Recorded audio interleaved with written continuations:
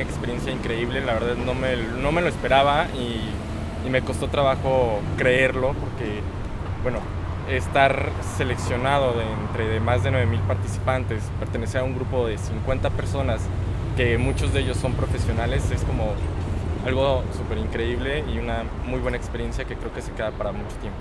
Bueno, soy arquitecto, me encanta el urbanismo, creo que la fotografía expresa esa parte de mí, esa parte de mi carrera.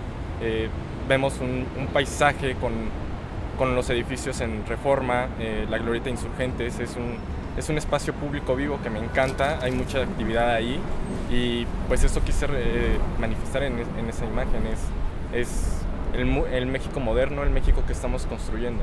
Pues realmente no soy, no soy este fotógrafo de profesión, entonces técnica no sé mucho, eh, creo que fue más como buscar una imagen que me agrada. Por supuesto es un concurso padrísimo, es una experiencia que deben de vivir. Eh, desde el primer momento creo que lo disfrutas, el prepararte para tomar una fotografía, contar una historia eh, a través de una imagen.